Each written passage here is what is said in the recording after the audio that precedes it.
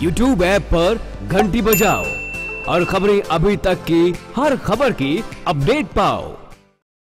Cyber city Gurugram के चर्चित Prince हत्याकांड मामले में गुरुग्राम की जिला अदालत में सुनवाई होगी और आज की सुनवाई के दौरान कोर्ट सुरक्षित रखे गए तीनों याचिकाओं पर फैसला सुनाएगा। आपको बता दें कि पिछली सुनवाई 14 मई को हुई थी। पहली याचिका आरोपी को बालिक मानकर फैसला सुनाया जाए या फिर नाबालिग मानकर दूसरी याचिका आरोपी का फिंगरप्रिंट और तीसरी याचिका आरोपी पक्ष के मुताबिक सीबीआई ने बच्चे से तय समय से ज़्यादा पूछताछ की थी।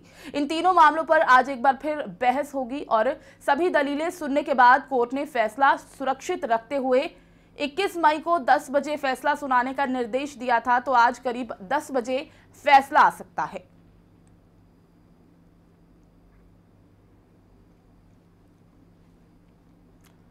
तो तीनों याचिकाओं पर कोर्ट की तरफ़ से फैसला सुरक्षित रखा गया था और आज तीनों याचिकाओं पर कोर्ट अपना फैसला सुनाएगी।